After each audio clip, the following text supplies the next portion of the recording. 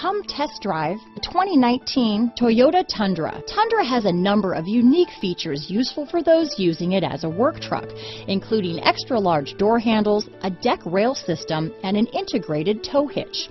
Included as standard are vehicle stability control, traction control, electronic brake force distribution, anti-lock brakes, and tailgate assist.